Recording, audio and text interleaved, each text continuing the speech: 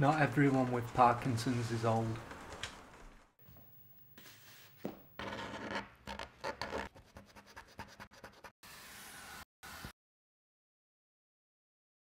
I've had it for about 13 years now. Three years. 15 years. I've had Parkinson's since I was 19 years old. Every hour, somebody in the UK is told they have Parkinson's.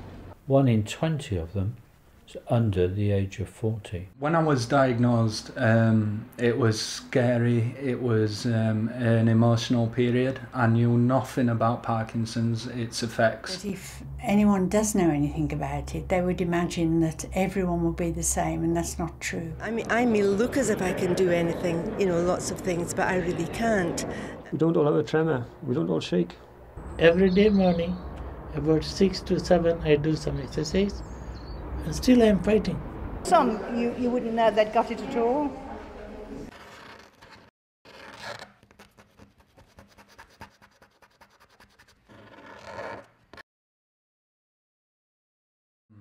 Wow, if they found a cure, wow. Um, it mean I'd be able to get back to work. Um, it mean I'd be able to pick up and play with my kids. Finding a cure would take away the, the uncertainty that surrounds my life. And they just need to find that little piece of jigsaw that hopefully one day will find a cure or at least a better way of actually controlling the disease with medication.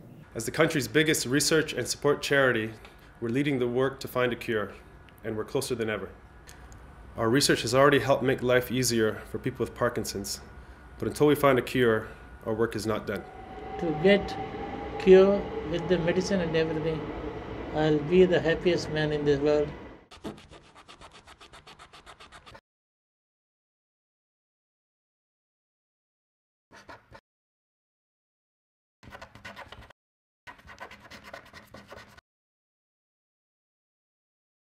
Because we are here, no one has to face Parkinson's alone.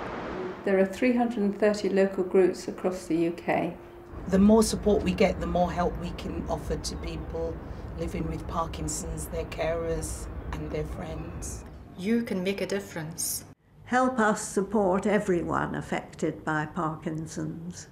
With your help, we can find a cure for my granddad.